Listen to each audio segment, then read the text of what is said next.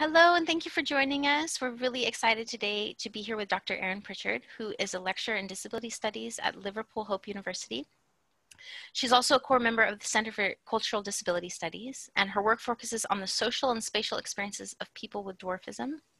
Drawing on this research, she has written about her own experiences as a female academic with dwarfism in her most recent paper, Female Researcher Safety, the Problem of Recruiting Participants at Conventions for People with Dwarfism um, which focuses on the issues of, of researcher safety and understanding of disability and sexuality. So um, in honesty, we'll be referring to this piece, this paper a great deal today because it has so many important implications on um, many ways in which fieldwork can be problematic and many of those insights. First, I want to thank you for being here with us, Dr. Pritchard, for lending your knowledge and experience to this conversation. Um, it's wonderful to have you. Um, maybe you can start just by telling us a little bit about your work or, or this fieldwork that you reference in the piece. Um, of course, we're going to share the, this piece as a link below for people to access it themselves, but maybe in your own words, you can share a little bit about, uh, about it with us. Okay, uh, thank you. Firstly, it was um, something that I never envisaged writing because I was scared to. Um, because it, it's drawn from my PhD research and I was wasn't interested in any of the research um, formalities. I was just interested in gathering participants to talk about experiences of what it's like to have dwarfism and some of the you know social and spatial experiences from name calling to not being able to interact with facilities because they're too high. However, um, when I was recruiting participants, I mostly um, try to recruit via associations for people with dwarfism. So every most countries will have an association for people with dwarfism, and they'll have these conventions where loads of people with dwarfism meet. Um, the biggest is Little People of America, which is obviously in the US.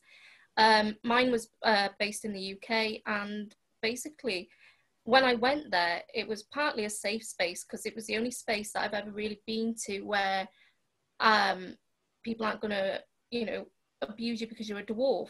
However, it was important to look at the intersection, you know, intersections of identities that I wasn't just a, woman, a dwarf, I was a woman with dwarfism. And as I saw myself, I was a doctoral student there trying to recruit participants. But of course, it's important to build a rapport. Mm. So I went there as this researcher, but some people have a different take on it. There's some men, not all, who go there as a way to find a possible date. That's okay. And this one guy, he asked me out and I refused, but it, you know, he sort of didn't take no for an answer.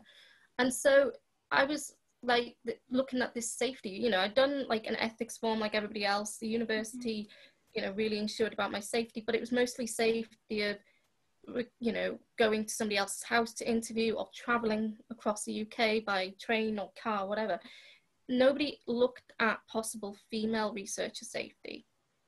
Um, and so when I experienced that, I told one of my close friends, um, who is a researcher down at Sussex, and she was like, "I'm putting this book together. Write about it."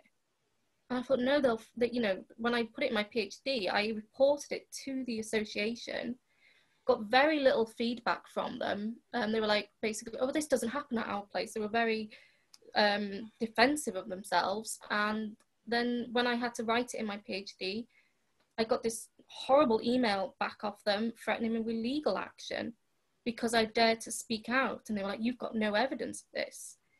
And I'm like, But it's, you know, it's basically my word against his. But he was, his girlfriend was on the committee. So, of course, my views weren't going to be taken seriously and I wasn't like trying to badmouth the association. I was just trying to say this is happening. You should be aware of it. You should be aware of the safety of your, you know, your members. Um, and it's not a reflection on you as an association. It's just like Me Too is showing. It happens anywhere. Right. But they weren't interested in that. It was just more, you know, we're going to threaten you with legal action. So I stayed silent for a long time until my friend was like, no, you should write about this, and the publishers will have your back. You know. So basically, I just agreed to take out the name of the association mm-hmm. and thought no. And so it was a strength to write about it. Right. Wow. I, know, I when I read the piece, I was so angry for you about um, this this um, all, first of all everything that happened, but mm-hmm. um, in this notion that um, this idea of oh that doesn't happen here this is a safe space and if you say something about it people will accuse you of robbing um, others to access the space because now you're painting it as dangerous and so many people rely on the space and how difficult it is to um, be the one like you become the problem even though you're the victim it sounds like mm-hmm. that's a lot of what you also experience um, within a community which you um, is a place that you're a member of and you talk a lot about how difficult that is to be a member of this community that now it almost sounds like they kind of went against you and then you you know it's a very very nuanced place to be um, and you know in the piece you mentioned how the me too movement has been somewhat exclusive and not all encompassing of you know plural experiences like these um, and how it's kind of lacking current research in, in encompassing you know disabled women's experiences and larger understandings of harassment and gendered violence in general. So um, in your opinion do you think this puts great pressure on survivors to voice publicly or document your experience their experiences? I know you were kind of sort of hushed a bit and and so it feels like there's greater pressure to speak out and those implications. I mean what do you feel like um, what is your sort of insights or experiences or thoughts about the pressure to um, first of all if you stay silent then you kind of feel that oh, it's happening and you don't have a space but if you speak out there's great pressure too. Yeah um definitely. Like i think the me too movement was a great thing because it showed that it was so common in very different areas, whether it's Hollywood or in my case, a, a charity, um, you know, and it, it's all over the place. And I think people have been silenced for so long, and now we have this place to speak out, but you're still kind of pressured that you should speak out in case it happens to someone else, blah, blah, blah. I didn't really feel pressured to speak out. I was encouraged. I was more pressured to stay silent um, I had one guy from this association saying I'd scare off all male dwarfs, um, as if like, oh yeah, because I want to date them all, you know, I'm not bothered. Um, he even said to me, oh, there would have been a chance of me dating you, but I won't now. Well, I'm not hurt. Um, you know, I, and I think it's it's really dependent on the person, but I think now because so many women are coming out, it's not necessarily pressure, but encourages more to speak out. You know, um, I never I felt pressured. I, I did it because this is my release valve. This is my way of coping with what happened by saying, you know what, I'm not staying silent. Then that's that power reversal that, you know, like you say, the victim is blamed. And this is, you know, with sexual assault or harassment or anything like that, it always seems to be the victim's fault from what she mm-hmm. wears to where she went. I'm not saying it doesn't happen to men either, but it's mostly female. And it's always your fault and you are being nasty to accuse men or whatever but it's like well if they just behave themselves this wouldn't be a problem you know right. um but yeah i felt no i'm gonna sort of speak out about it and i found now that speaking out about it more women sort of tell you yeah. and then i've been finding out more and more stories and that's why i sort of my friend uh, my colleague Delyth Edwards and I want to put together a book to say right, tell us your stories. You, I'm not forcing you, but tell us. Because we think this should be out there because for too long women have just got to just stay silent like good girls you know what i mean? Right yeah absolutely. Um, i think if i can quote your piece you mentioned you, that you kept thinking you know nobody will want to participate in a research project when the researcher has accused somebody of sexual assault and especially in like a close-knit community. Um, and so that difficulty as well of now you have to continue to do your research in this community. Um, did you so I, I, it sounds like it's true. I mean you mentioned in the piece how there's this sort of one weekend where people want to make connections some, some maybe amorous which is fine um, obviously with two willing participants. Um, but this is, I'm assuming this is not the first time this has ever happened. And so did you hear, did you get any um, people that spoke specifically within this community that, that yes, this is a problem that's sort of been overlooked? Um, I ask because what, what I, we've seen a lot of is that when people maybe go uh, you know for field work from whatever context they're very afraid that if they speak about the experience it's going to cast a negative view on that community. You know they're very aware of how stereotypes work or what people might think and so they want to mm-hmm. really um, which is what keeps people silent. It's sort of like this double-edged sword. And so i'm worrying uh, or i'm wondering about just in general like what sort of feedback or people who've kind of come out in within that community and spoken about similar experiences. We know that it's it's not spaces but as well uh, just what's sort of been the um, support maybe or wave of support have you gotten within within the community about it i've had some good support surprisingly um because i started recruiting via social media, and so I'm part of quite a few groups for people with dwarfism on social media. And mm-hmm. the only backlash I got was on that one association site. Mm-hmm. Um, however, when I shared it on things like uh, Little People Women, um, you know, uh, Little People Only, these people were really supportive, even including some men, because like I said, it wasn't all men. And some men said, if this is a problem, then it needs sorting out because it also reflects badly on us. Now, those were the sensible ones. Mm-hmm. And then a lot of women said, I've had this problem, I've had this trouble.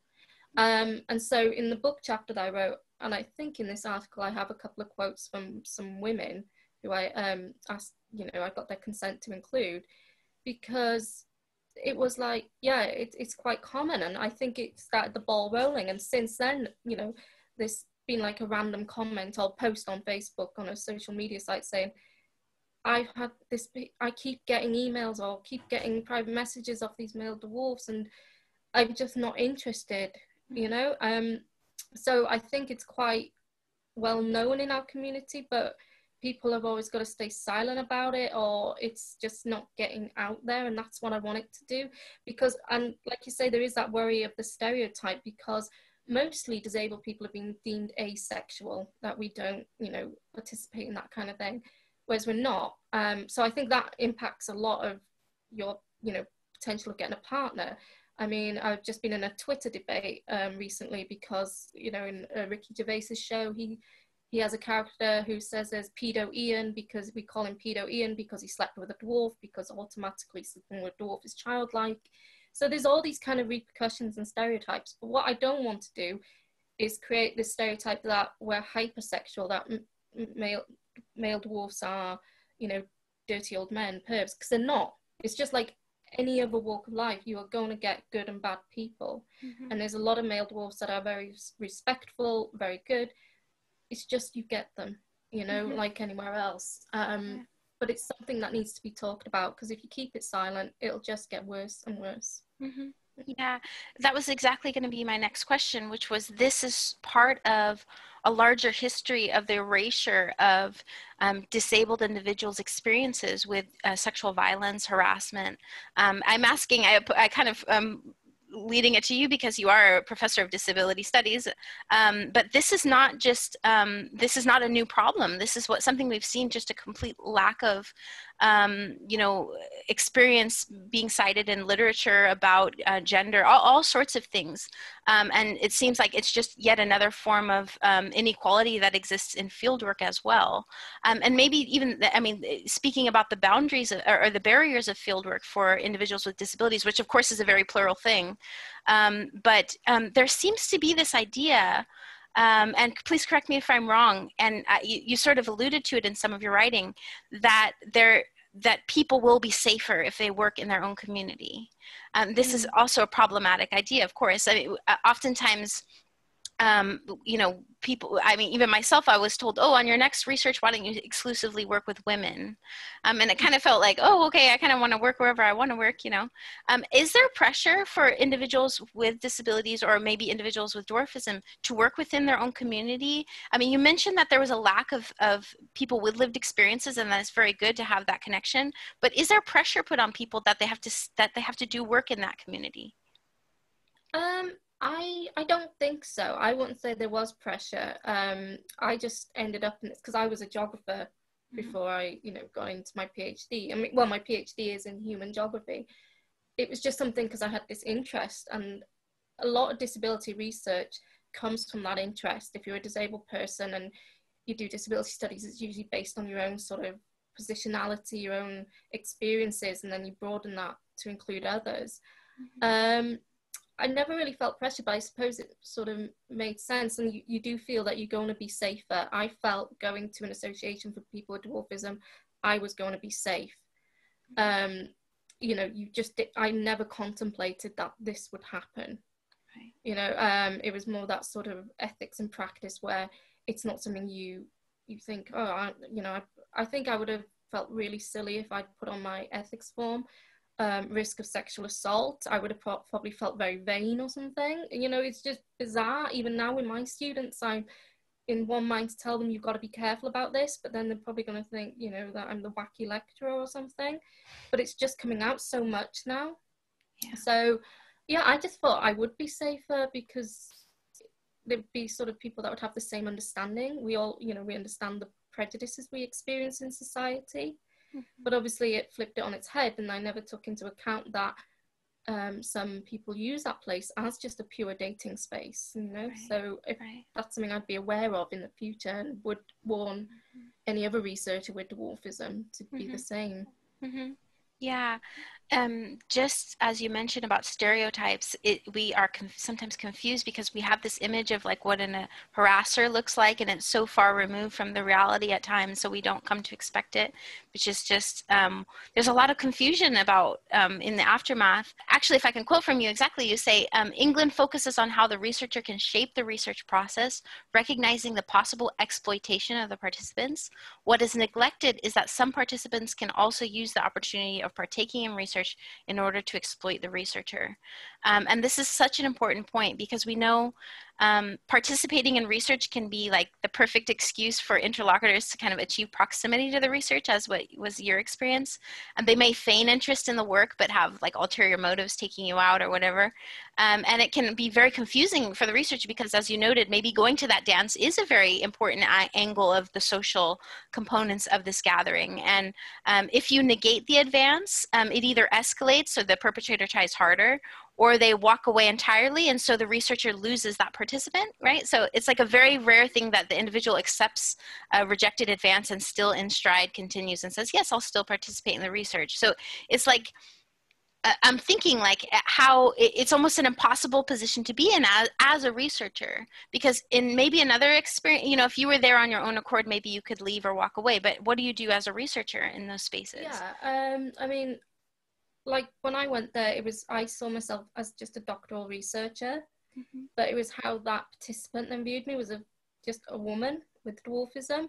Yeah. And so yeah, you're trying to negotiate this, this these identities and say and build a rapport with them so that they feel more comfortable around you so that you can interview them without them feeling oh it's a researcher if i say something silly i'm going to look stupid mm-hmm. um, whereas this was like oh yeah i'll take part in your research and then you get to know this person more and you're like oh hang on there's an ulterior motive here.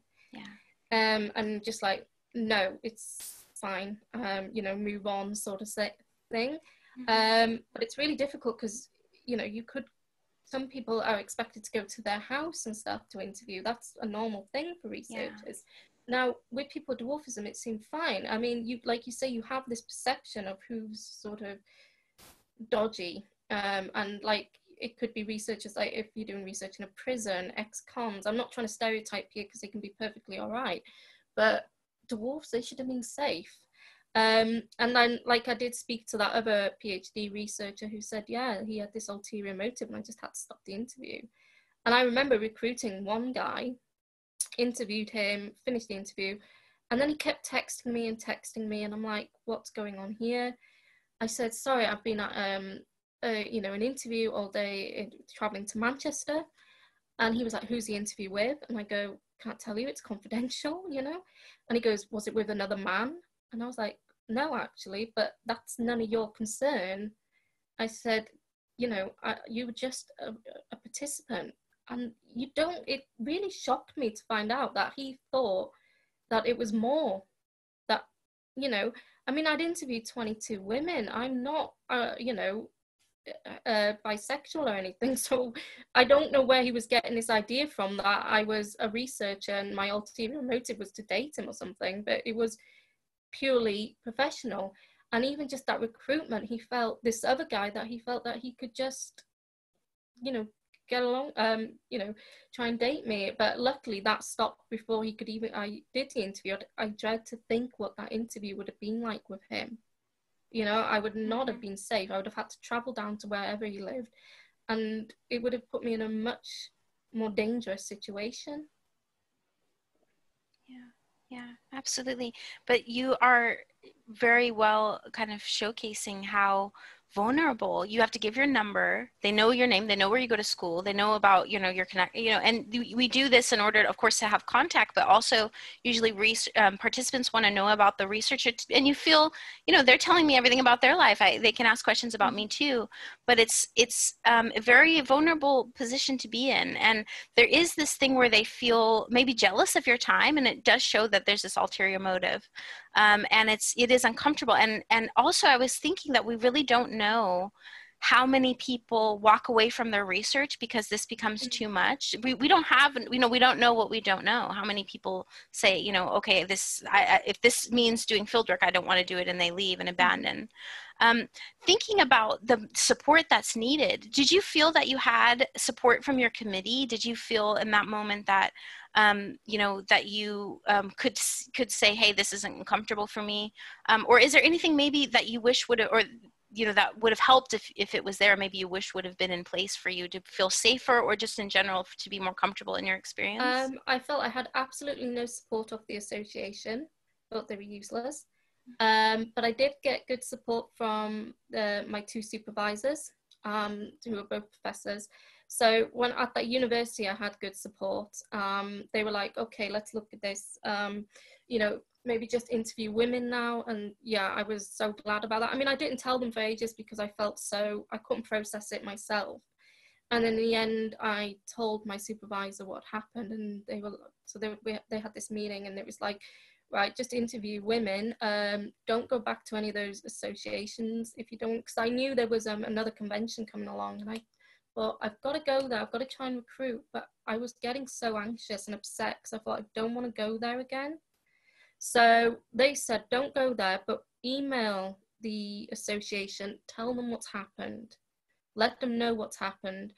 Because, um, you know, they, we all thought they should be aware of this and do something about it. But then I just went and interviewed women um, who I recruited via social media, um, different groups on Facebook, and that was it. Um, but then when it blew up and the association was like, oh, you know, because I named them, they was threatening legal action. But my supervisors, again, you know, they laughed at half of the things they said. They said it's ridiculous.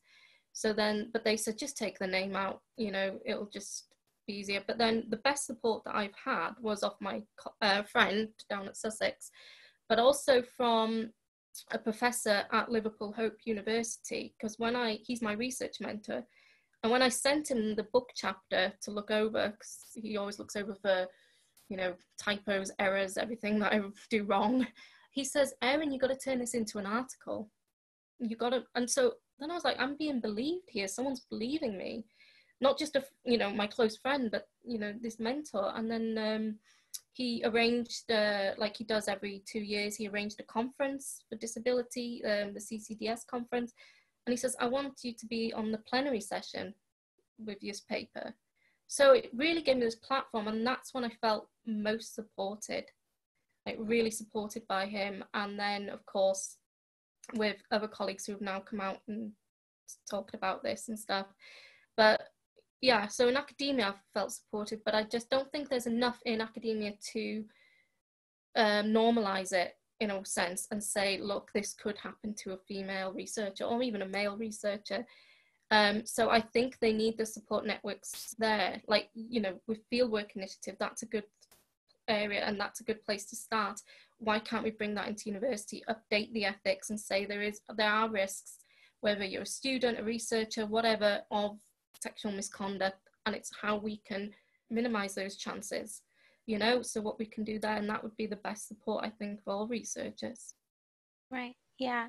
Um just hearing about everything that it just you know took as far as the backlash you got i was just found myself thinking not just as a researcher but as a person like what you have to go through. Just in the aftermath of a sexual assault is hard enough but then to have to carry forward this work and be in this sort of situation where you you know deserve to get your degree. Um, and also that you have been robbed of the ability to feel safe in a space where you should otherwise be able to participate in.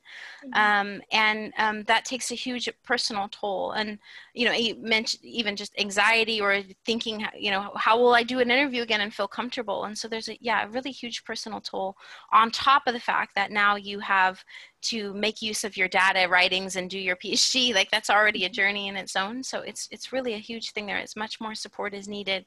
Um, and speaking of that um, what do, what do you feel that best practices uh, maybe for allies looks like considering support for fieldwork um, and i know this is kind of a difficult question because we know fieldwork is very plural gender is very plural disability is very plural.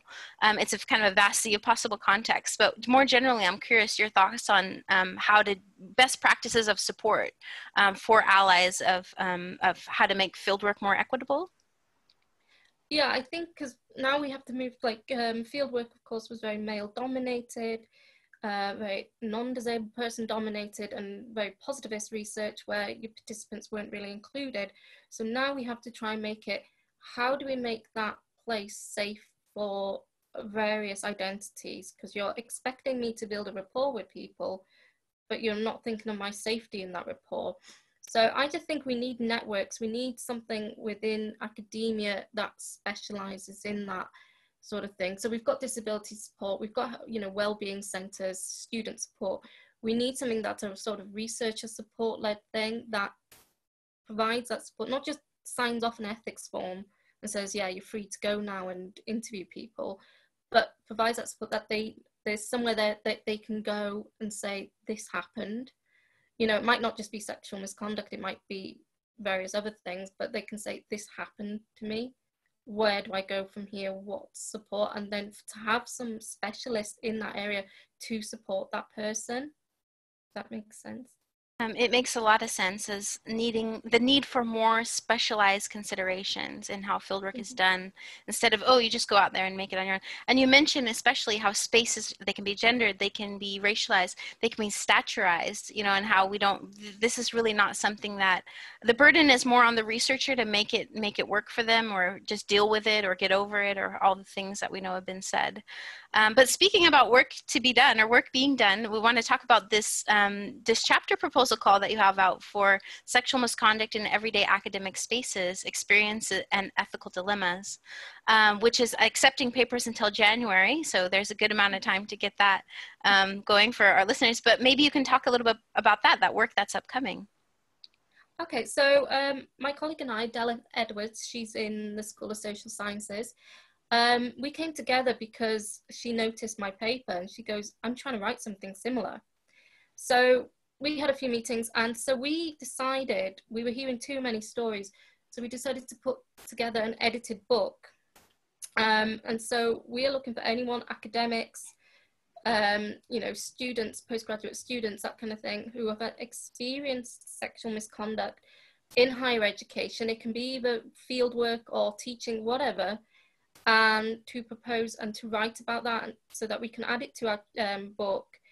Um, there is a long deadline because we had so many other things going um, and just to share that story in a safe space in, in a book you know we will go by the ethical procedures to sort of not name institutions if you you know not name certain people anything like that because we understand that having to write about that can be difficult for some people you might be weary that you might drop someone in it, your institution might react badly to it, that kind of thing. But we want people to share these stories because, like we say with the Me Too mo- movement, it's exposing sexual harassment in a lot of places.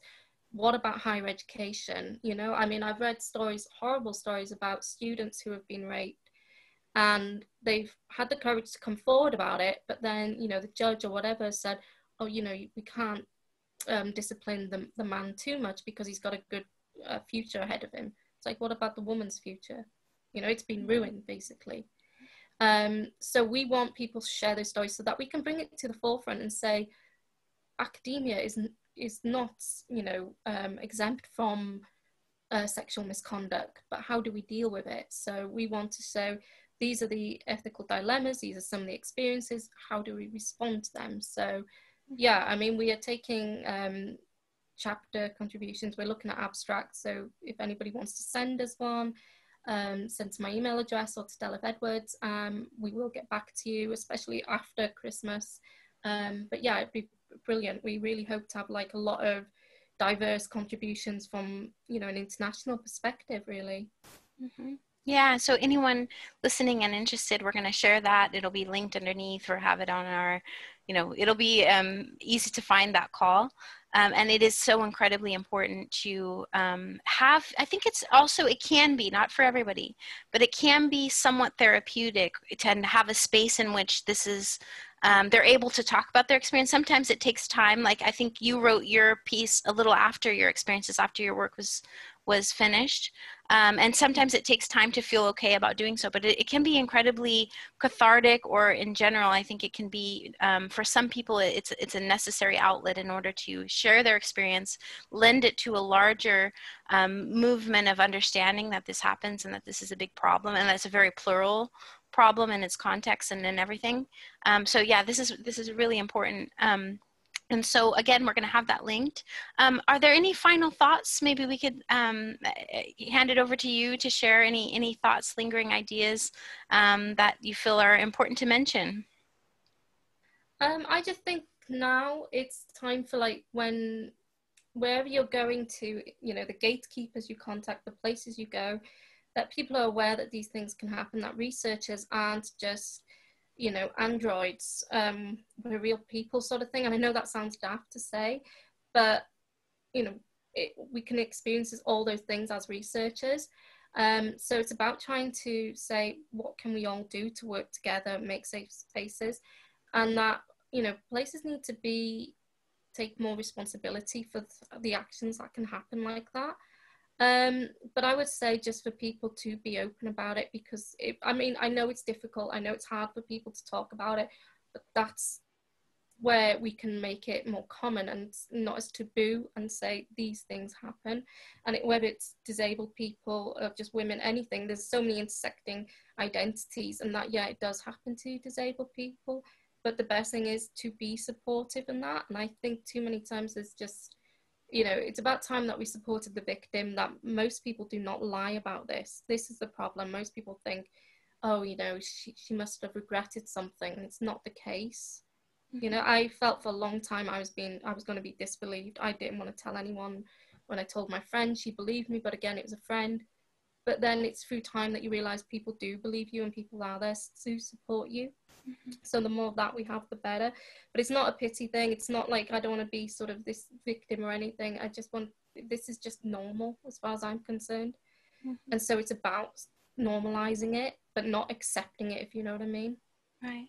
Yeah, um, it's it's such a common sentiment of worry that we know victims have and survivors have that they won't be believed, um, even though um, it is at the same time odd because um, I find it, I, I would find it uh, like for myself and my own experiences odd to, um, it's hard enough to say that it happened. Why would I say, you know, it's hard enough to like talk about it and speak that this happened to me.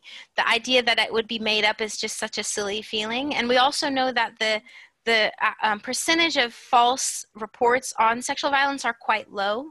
Um, but society has another idea. Society has another view for some reason.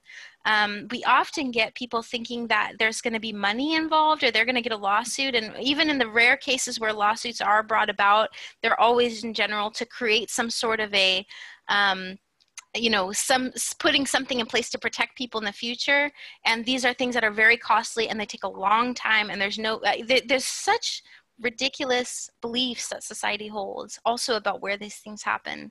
So that's such a such a very important point i really thank you for raising it.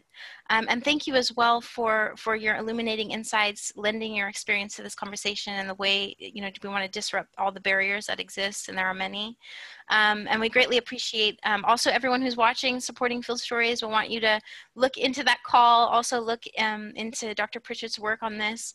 Um, and we'll be at it again next week, of course, with another Field Stories kind of pushing forward conversations on fieldwork inequality to spur larger change in society, academia, and, and knowledge production. So unless there's any other final thoughts, Dr. Pritchard, I want to give you one last chance. Um, I just think that this is a great thing that you're doing fieldwork initiative, like looking at all sorts of things. Like when my uh, Delyth shared it with me, I thought, yes, this needs to be here. So fantastic work. Thank you so much. You make me blush a bit here, so we'll we'll end it here. but thank you very much, and as well for for your writing. Your piece is really um, so important about you know one of the larger things is people um, these views that oh yeah that's what happens if you go to these spaces, and we really want to show people this is a human problem. This is not belong to any one culture, any one country, any one language. This is a problem that happens across time and space, and um, it's been long overdue to have these conversations. So thank you so much for for being with us and and sharing all these insights. And we maybe we can connect folks to you. I know for the call, but others who are you open to have um, people write to you if they have a similar experience or um, mm-hmm. Maybe. people can um, email you and, and connect with you about this because I think it feels like you are this is something you're also passionate about and you're building work in the future towards. So um, wonderful. Thanks again. And we're signing off. That's us. Um, have a great um, rest of your day. And we're going to um, hopefully connect we with um, everybody's going to connect on this call that's coming. So cheers.